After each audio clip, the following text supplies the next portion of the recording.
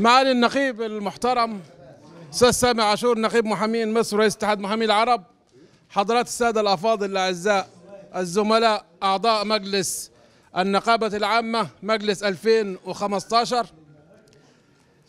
كل سنة وأنتم طيبين والحمد لله إن هذه المدة أربع سنوات ويزيد قد انقضت على خير وتمت فيها العديد من الإنجازات والكثير من الانجازات التي كنا نطمح دائما وكنا نكتبها في برنامجنا الانتخابي والحمد لله قد وفقنا إلى إلى حد كبير في تحقيق تلك المكاسب وتلك الإنجازات.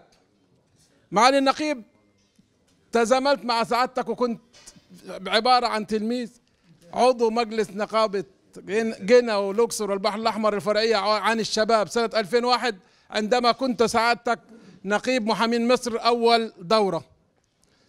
وحتى اليوم نحن معك منذ أن عملنا بالعمل النقابي وكنت القدوة لنا جميعا. وكنا دائما ما نعتبر نفسنا أن أنفسنا أننا نقتدي بك وأننا نقتفي أثرك دائما على في العمل النقابي وكنا دائما ما نراك أنك رمزا لنا جميعا. وفعلا هذه هذه الحالة التي إحنا نحن نشعر بها. وتلك المدة التي قضيناها كان الحب يسبق كل شيء.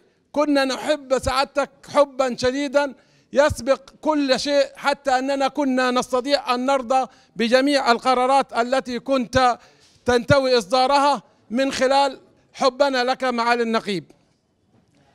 بالنسبة لزملائي الأفاضل الفترة القادمة تم فتح باب الترشيح وسيكون هناك انتخابات وسيكون هناك جلسات وسيكون هناك تربيطات وستكون هناك لا لا لا وسيكون هناك العديد من الأحاديث مجموعات مع بعض. فأنا ببرئ النقيب من الآن وأطلب منكم جميعا أن تتعاملوا على أن النقيب ليس له قائمة من خلاف. نحن جميعا مرشحين. نحن جميعا مرشحين لسيادة النقيب. وليس له قائمة بعينها. وكل الزملاء المتقدمين هو بعيد عن أي اختيارات.